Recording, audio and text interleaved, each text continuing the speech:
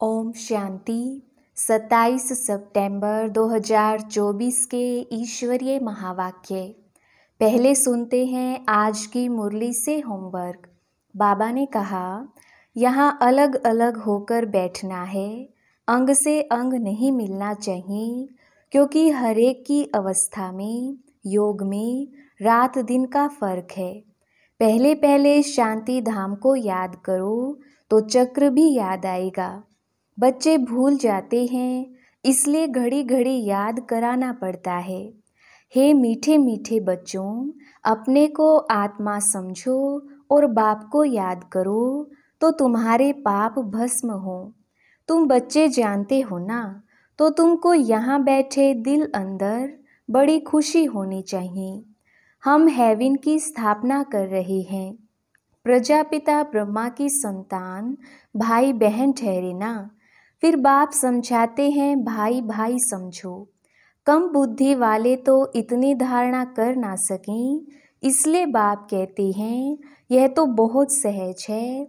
अपने को आत्मा समझो, बेहद के बाप को याद करो। और अब सुनते हैं महावाक्यों को विस्तार से। मुरली का सार, मीठे बच्चे, याद की मेहनत तुम सबको करनी है। तुम अपने को आत्मा समझ, मुझ बाप को याद करो तो मैं तुम्हें सब पापों से मुक्त कर दूँगा। प्रश्न, सर्व की सदगति का स्थान कौन सा है, जिसके महत्व का सारी दुनिया को पता चलेगा? उत्तर, आबू भूमि है सबकी सदगति का स्थान। तुम ब्रह्मा कुमारी के सामने ब्रैकेट में लिख सकते हो यह सर्वोत्तम तीर्थ स्थान है। सारे दुनिया की सदगति यहाँ से होनी है। सर्व का सदगति दाता बाप और आदम ब्रह्मा यहाँ पर बैठकर सबकी सदगति करते हैं।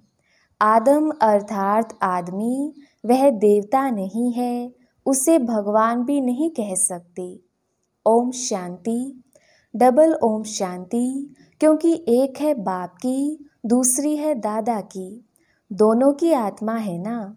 वह है परम आत्मा, यह है आत्मा। वह भी लक्ष्य बतलाते हैं कि हम परम धाम के रहवासी हैं। दोनों ऐसे कहते हैं। बाप भी कहते हैं ओम शांति, यह भी कहते हैं ओम शांति। बच्चे भी कहते हैं ओम शांति, अर्थात हम आत्मा शांति धाम की निवासी हैं। यहाँ अलग अलग होकर बैठना है। अंग से अंग नहीं मिलना चाहिए, क्योंकि हरेक की अवस्था में, योग में रात दिन का फ़र्क है। कोई बहुत अच्छा याद करते हैं, कोई बिल्कुल याद नहीं करते। तो जो बिल्कुल याद नहीं करते, वह है पाप आत्मा, तमो प्रधान। और जो याद करते हैं, वह हो गए पुण्य आत्मा, सतो प्रधान। बहुत फ़र्क हो गया ना। घर में भल इकट्ठे रहते हैं, परंतु फ़र्क तो पड़ता है ना। इसलिए ही तो भागवत में आसुरी नाम गाई हुई है। इस समय की ही बात है। बाप बैठ बच्चों को समझाते हैं, यह है ईश्वरीय चरित्र, जो भक्ति मार्ग में गाते हैं। सत्युग में तो कुछ भी याद नहीं रहेगा, सब भूल जाएँगे। बाप अभी ही शिक्षा देते हैं। सत्युग में तो यह बिल्कुल भूल जाते हैं। फिर द्वापर में शास्त्र आदि बनाते हैं और कोशिश करते हैं राजयोग सिखलाने की। परंतु राजयोग तो सिखला ना सके। वह तो बाप जब सम्मुख आते हैं, तभी आकर सिखलाते हैं। तुम जानते हो कैसे बाप राजयोग सिखलाते हैं? फिर पाँच हज़ार वर्ष बाद आकर ऐसे ही कहेंगे, मीठे मीठे रूहानी बच्चों, ऐसे कभी भी कोई मनुष्य मनुष्य को कह ना सके। ना देवताएँ देवताओं को कह सकते हैं। एक रूहानी बाप ही रूहानी बच्चों को कहते हैं। एक बार पाठ बजाया, फिर पाँच हज़ार वर्ष के बाद पाठ बजाएँगे, क्योंकि फिर तुम सीढ़ी उतरते हो ना। तुम्हारी बुद्धि में अब आदि मध्य अंत का राज है। जानते हो वह है शांति धाम अथवा परम धाम हम आत्माएँ भिन्न भिन्न धर्म की सब नंबरवार वहाँ रहती हैं निराकारी दुनिया में। जैसे स्टार्स देखते हो ना, कैसे खड़े हैं कुछ देखने में नहीं आता। ऊपर में कोई चीज़ नहीं है। ब्रह्म तत्व है यहाँ तुम धरती पर खड़े हो। यह है कर्म क्षेत्र। यहाँ आकर शरीर लेकर कर्म करते हो। बाप ने समझाया है, तुम जब मेरे से वर्षा पाते हो तो 21 जन्म तुम्हारे कर्म अकर्म हो जाते हैं, क्योंकि वहाँ रावण ही राज्य नहीं होता है। वह है ईश्वरीय राज्य, जो अब ईश्वर स्थापन कर रहे हैं। बच्चों को समझाते रहते हैं, शिव बाबा को याद करो तो स्वर्ग के मालिक बनो। स्वर्ग शिव बाबा ने स्थापन किया ना तो शिव बाबा को और सुखधाम को याद करो। पहले पहले शांति धाम को याद करो तो चक्र भी याद आएगा। बच्चे भूल जाते हैं, इसलिए घड़ी घड़ी याद कराना पड़ता है। हे मीठे मीठे बच्चों, अपने को आत्मा समझो और बाप को याद करो तो तुम्हारे पाप भस्म हो। प्रतिज्ञा करते हैं तुम याद करेंगे तो पापों से मुक्त करूँगा। बाप ही पतित पावन सर्वशक्तिमान अथॉरिटी है। उनको वर्ल्ड आलमाइटी अथॉरिटी कहा जाता है। वे सारी सृष्टि के आदि मध्य अंत को जानते हैं। वेदों शास्त्रों आदि सबको जानते हैं। तब तो कहते हैं, इनमें कोई सार नहीं है, गीता में भी कोई सार नहीं है। भल वह सर्व शास्त्रमय शिरोमणि है माई बाप, बाकी सब हैं बच्चे। जैसे पहले पहले प्रजापिता ब्रह्मा है, बाकी सब बच्चे हैं। प्रजापिता ब्रह्मा को आदम कहते हैं। आदम माना आदमी, मनुष्य है ना तो इनको देवता नहीं कहेंगे। एडम को आदम कहते हैं। भगत लोग ब्रह्मा एडम को देवता कह देते। बाप बैठ समझाते हैं, एडम अर्थात आदमी। ना देवता है, ना भगवान है। लक्ष्मी नारायण है देवता। डीटिज्म है पैराडाइज में। नई दुनिया है ना। वह है वंडर ऑफ़ दी वर्ल्ड। बाकी तो वह सब है माया के वंडर। द्वापर के बाद माया के वंडर्स होते हैं। ईश्वरीय वंडर है, हेविन स्वर्ग, जो बाप ही स्थापन करते हैं। अभी स्थापन हो रहा है। ये जो देलवाड़ा मंदिर है, इसके वैल्यूज़ का किसको भी पता नहीं है। मनुष्य यात्रा करने जाते हैं तो सबसे अच्छा तीर्थ स्थान यह है। तुम लिखते हो ना, ब्रह्मा कुमारी ईश्वरीय विश्वविद्यालय आबू पर्वत। तो ब्रैकेट में यह भी लिखना चाहिए, सर्वोत्तम तीर्थ स्थान क्योंकि तुम जानते हो सर्व की सदगति यहाँ से होती है। यह कोई जानते नहीं। जैसे सर्वशास्त्र में शिरोमणि गीता है, वैसे सर्व तीर्थों में श्रेष्ठ तीर्थ आबू है। तो मनुष्य पढ़ेंगे, अटेंशन जाएगा।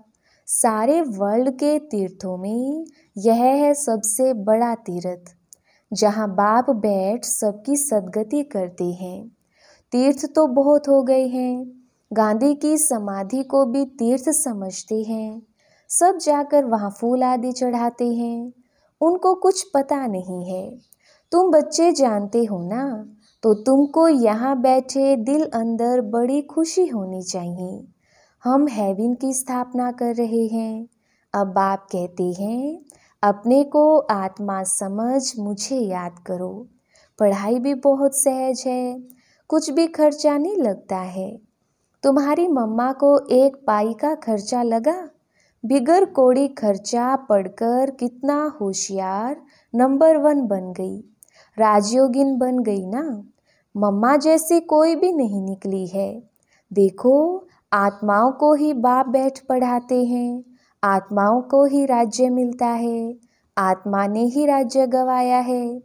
इतनी छोटी सी आत्मा कितना काम करती है। बुरे ते बुरा काम है विकार में जाना। आत्मा चौरासी जन्मों का पाठ बजाती है। छोटी सी आत्मा में कितनी ताकत है। सारे विश्व पर राज्य करती है। इन देवताओं की आत्मा में कितनी ताकत है। हर एक धर्म में अपनी अपनी ताकत होती है ना। क्रिश्चियन धर्म में कितनी ताकत है? आत्मा में ताकत है, जो शरीर द्वारा कर्म करती है। आत्मा ही यहाँ आकर इस कर्म क्षेत्र पर कर्म करती है। वहाँ बुरा कर्तव्य होता नहीं। आत्मा विकारी मार्ग में जाती ही तब है, जब रावण राज्य होता है। मनुष्य तो कह देते विकार सदैव है ही। तुम समझा सकते हो, वहाँ रावण राज्य ही नहीं तो विकार हो कैसे सकते? वहाँ है ही योग बल। भारत का राजयोग मशहूर है, बहुत सीखना चाहते हैं, परंतु जब तुम सिखलाओ औरों को तो कोई सिखला ना सके। जैसे महर्षि था, कितनी मेहनत करता था योग सिखलाने के लिए। परंतु दुनिया थोड़ी जानती कि यह हठयोगी राजयोग कैसे सिखलाएँगे। चिन्मयानंद के पास कितने जाते हैं? एक बार वह कह दे कि सचमुच भारत का प्राचीन राजयोग सिवाय बीके के कोई समझा नहीं सकते हैं तो बस। परंतु ऐसा कायदा नहीं है जो अभी यह आवाज़ हो। सब थोड़ी समझेंगे। बड़ी मेहनत है। महिमा भी होगी पिछाड़ी में। कहते हैं ना, अहो प्रभु, अहो शिव बाबा, आपकी लीला। अभी तुम समझते हो तुम्हारे सिवाय बाप को सुप्रीम बाप, सुप्रीम टीचर, सुप्रीम सतगुरु और कोई समझते नहीं। यहाँ भी बहुत हैं जिनको चलते चलते माया हैरान कर देती है तो बिल्कुल बेसमझ बन पड़ते हैं। बड़ी मंजिल है, युद्ध का मैदान है इसमें माया विघन बहुत डालती है। वो लोग विनाश के लिए तैयारी कर रहे हैं। तुम यहाँ पाँच विकारों को जीतने के लिए पुरुषार्थ कर रहे हो। तुम विजय के लिए, वह विनाश के लिए पुरुषार्थ कर रही हैं। दोनों काम इकट्ठा होगा ना? अभी टाइम पड़ा है। हमारा राज्य थोड़ी स्थापन हुआ है। राजाएँ, प्रजा अभी सब बननी है। तुम आधा कल्प के लिए बाप से वर्षा लेते हो। बाकी मोक्ष तो कोई को मिलता नहीं। वह लोग भल कहते हैं, फलाने ने मोक्ष को पाया। मरने के बाद उनको थोड़ी मालूम है कि कहाँ गया। ऐसे ही गपोड़े मारते रहते हैं। तुम जानते हो, जो शरीर छोड़ते हैं, वह फिर दूसरा शरीर ज़रूर लेंगे। मोक्ष पा नहीं सकते। ऐसे नहीं कि बुधा पानी में लीन हो जाता है। बाप कहते हैं, यह शास्त्र आदि सब भक्ति की सामग्री है। तुम बच्चे सम्मुख सुनते हो गर्म गर्म हलवा खाते हो। सबसे जास्ती गर्म हलवा कौन खाते हैं? ब्रह्मा, यह तो बिल्कुल उनके बाजू में बैठे हैं। झट सुनते हैं और धारण करते हैं, फिर यही ऊंच पद पाते हैं। सूक्ष्म वतन में, वैकुंठ में इनका ही साक्षात्कार करते हैं। यहाँ भी उनको ही देखते हैं इन आँखों से। बाप पढ़ाते तो सबको हैं, बाकी है याद की मेहनत। याद में रहना जैसे तुमको डिफ़िकल्ट लगता है, वैसे इनको भी। इसमें कोई कृपा की बात नहीं। बाप कहते हैं, हमने लोन लिया है, उनका हिसाब किताब दे देंगे। बाकी याद का पुरुषार्थ तो इनको भी करना है। समझता भी हूँ, बाजू में बैठा है। बाप को हम याद करते फिर भी भूल जाता हूँ। सबसे जास्ती मेहनत इनको करनी पड़ती है। युद्ध के मैदान में जो महारथी पहलवान होते हैं, जैसे हनुमान का मिसाल है तो उनकी ही माया ने परीक्षा ली, क्योंकि वह महावीर था ना। जितना जास्ती पहलवान, उतना जास्ती माया परीक्षा लेती है। तूफ़ान जास्ती आते हैं, बच्चे लिखते हैं, बाबा, हमको यह यह होता है। बाबा कहते हैं, यह तो सब कुछ होगा। बाबा रोज समझाते हैं, खबरदार रहना। लिखते हैं, बाबा, माया बहुत तूफ़ान लाती है। कोई कोई देह अभिमानी होते हैं तो बाबा को बतलाते नहीं हैं। तुम अभी बहुत अकलमंद बनती हो। आत्मा पवित्र होने से फिर शरीर भी पवित्र मिलता है। आत्मा कितना चमत्कारी हो जाती है। पहले तो गरीब ही उठाती हैं। बाप भी गरीब निवास गाया हुआ है। बाकी तो वो लोग देरी से आएँगे। तुम समझते हो, जब तक भाई बहन नहीं बने हैं तो भाई भाई कैसे बनेंगे? प्रजापिता ब्रह्मा की संतान तो भाई बहन ठहरे ना। फिर बाप समझाते हैं भाई भाई समझो। यह है पिछाड़ी का संबंध, फिर ऊपर भी भाइयों से जाकर मिलेंगे। फिर सतयुग में नया संबंध शुरू होगा। वहाँ पर साला, चाचा, मामा आदि बहुत संबंध नहीं होते। संबंध बहुत हल्का होता है। फिर बढ़ता जाता है।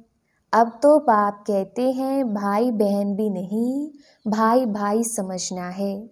नाम रूप से भी निकल जाना है। बाप भाइयों आत्माओं को ही पढ़ाते हैं। प्रजापिता ब्रह्मा है, तब भाई बहन है ना। श्री कृष्ण तो खुद ही बच्चा है, वह कैसे भाई भाई बनाएँगे? गीता में भी यह बातें नहीं हैं। यह है बिल्कुल न्यारा ज्ञान। ड्रामा में सब नोंद है। एक सेकंड का पार्ट ना मिले दूसरे सेकंड से। कितने मास, कितने घंटे, कितने दिन पास होने हैं, फिर पाँच हज़ार वर्ष के बाद ऐसे ही पास होंगे। कम बुद्धि वाले तो इतनी धारणा कर ना सकें। इसलिए बाप कहते हैं, यह तो बहुत सहज है, अपने को आत्मा समझो। बेहद के बाप को याद करो। पुरानी दुनिया का विनाश भी होना है। बाप कहते हैं, मैं आता ही तब हूँ जबकि संगम है। तुम ही देवी देवता थे। यह जानते हो, जब इनका राज्य था, तब और कोई धर्म नहीं था। अभी तो इनों का राज्य है नहीं। अच्छा मीठे मीठे सिकिलधे बच्चों प्रति मात पिता बाप दादा का याद, प्यार और गुड मॉर्निंग। रूहानी बाप की रूहानी बच्चों को नमस्ते। हम रूहानी बच्चों की रूहानी बाप, दादा को याद, प्यार, गुड मॉर्निंग और नमस्ते जी। धारणा के लिए मुख्य सार। पहला पॉइंट, अब पिछाड़ी का समय है, वापिस घर चलना है। इसलिए अपनी बुद्धि नाम रूप से निकाल देनी है। हम आत्मा भाई भाई हैं, यह अभ्यास करना है। देह अभिमान में नहीं आना है। दूसरा पॉइंट, हरेक की अवस्था और योग में रात दिन का फ़र्क है। इसलिए अलग अलग होकर बैठना है अंग अंग से ना लगे। पुण्य आत्मा बनने के लिए याद की मेहनत करनी है। वरदान, बाप के प्यार में अपनी मूल कमज़ोरी कुर्बान करने वाले ज्ञानी तू आत्मा भव। विस्तार बाप दादा देखते हैं कि अभी तक पाँच ही विकारों के व्यर्थ संकल्प मेजोरिटी के चलते हैं। ज्ञानी आत्माओं में भी कभी कभी अपने गुण व विशेषता का अभिमान आ जाता है। हरेक अपनी मूल कमज़ोरी व मूल संस्कार को जानता भी है। उस कमज़ोरी को बाप के प्यार में कुर्बान कर देना यही प्यार का सबूत है। स्नेही व ज्ञानी तो आत्माएँ बाप के प्यार में व्यर्थ संकल्पों को भी न्योछावर कर देती हैं। स्लोगन, स्वमान की सीट पर स्थित रहे, सर्व को सम्मान देने वाले माननीय आत्मा बनो। अच्छा ओम शांति।